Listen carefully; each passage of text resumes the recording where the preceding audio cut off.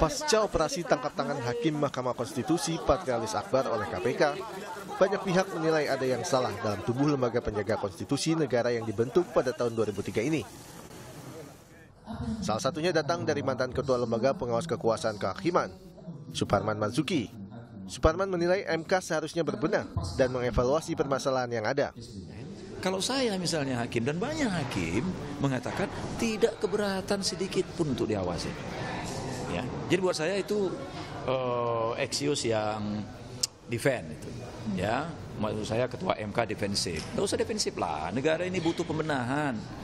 Saya katakan tadi sekarang justru waktunya bagi internal Mahkamah Konstitusi menginspirasi membuat langkah-langkah besar bagi perubahan di lembaganya sendiri.